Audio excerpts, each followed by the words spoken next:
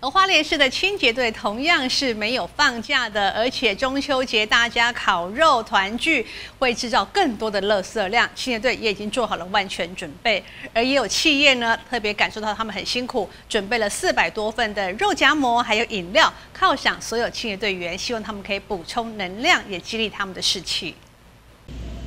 花莲市清洁队前摆了一长桌的物资，上头四百多份的肉夹馍，还有饮品，全都是良友营造在中秋节前夕所带来的慰劳与关怀。因为这一次的台风哦，花莲这里也蛮严重的，清洁队的同仁哦，大家都很辛苦啊，刚好碰到中秋佳节，所以我们就回馈一下，给大家慰劳一下这样。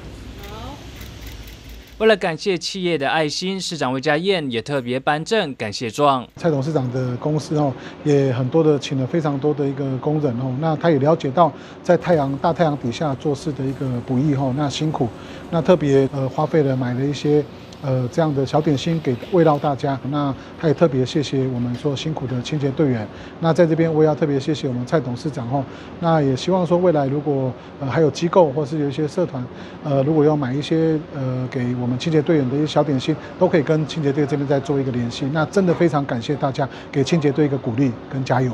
另外，市长也提醒市民，在中秋欢聚的同时，也务必做好垃圾分类。其中，贝壳与虾壳不要丢进厨余桶，竹签与牙签等烤肉用具，则务必要折断后另以袋子包装，以免清运时造成伤害。而清洁队也会在中秋节期间加强破袋稽查，希望大家一起用行动爱护环境。记者徐立晴，华联市报道。